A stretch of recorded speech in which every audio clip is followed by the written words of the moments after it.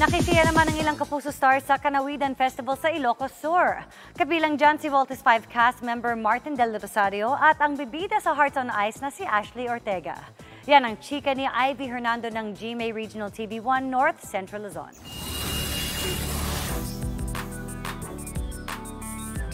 Star-studded ang Kapuso Fiesta sa Kanawidan Festival sa Ilocos Sur. Kabilang sa mga nagpakilig si Voltes 5 cast member Martin Del Rosario. Nag-perform rin ang bibida sa Hearts on Ice na si Ashley Ortega, pati si Lian Valentin at Bruce Rowland.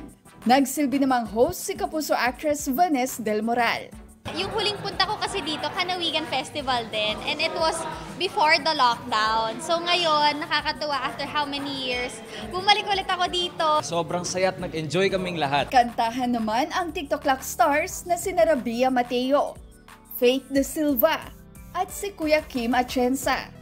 And of course, sa GMA Regional TV, Yeah. thank you very much. If not for you, wala kami dito. Wala kami dito. Thank you for this opportunity to be able to share our talent and be with the people of Ilocos Sur.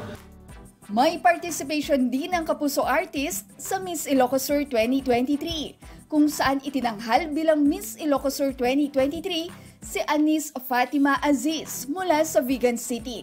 Hinarana ni Kapuso Starstruck alumni Dion Ignacio ang mga kandidata at fans.